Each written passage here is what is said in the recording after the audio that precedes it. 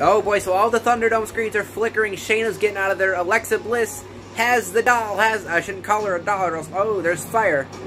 Shouldn't call her a doll, or else all my screens are gonna flicker. Shayna Baszler, the former longest-reigning NXT Women's Champion. Well, not really. That's Asuka, but one of the most dominant NXT Women's Champions in history is running away from Pyro. Don't you love the direction of Shayna Baszler? And as Alexa Bliss is laughing with Lily. And we've got some stairs. Shayna's heading backstage. Is she going to get, like, lit on fire?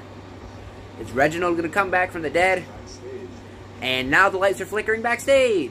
Ooh, she almost dropped an F-bomb there. Don't do that, Shayna. This is a PG show.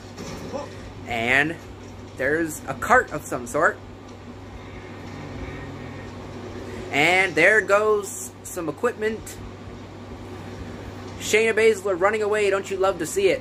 And where's she at now? Looks like she's in like...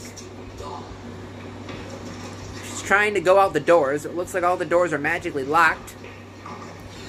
Yep, all the doors are locked. Lights are still flickering. Oh, the lights are all the way out now. The lights are flickering, but it's even darker. She's running down the hallway. Oh, she found the door. And she's locking herself in a room. And, yeah, Shayna board the door up with the couch. Get all the furniture. And the lights are flickering again. Oh, something's going to be in that mirror. And there's the doll. this is so horrible. This is literally a movie. It's lit they got like the intense, scary music and the doll's gone. We got the intense, scary music playing in the background. And the doll is in the mirror again. Shayna Baszler versus Lily inside of Hell in a Cell. We're getting Shayna at Lex the pay-per-view. And Shayna kicks the mirror, shattering the mirror. And Shayna is screaming. And you can barely see the doll. It's a pretty cool shot, to be fair, but this is all just kind of crap. And...